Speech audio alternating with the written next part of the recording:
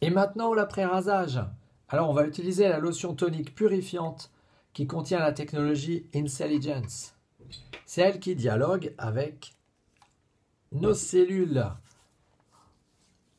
Et le gros avantage, c'est que ça va ouvrir les pores de la peau pour le produit suivant.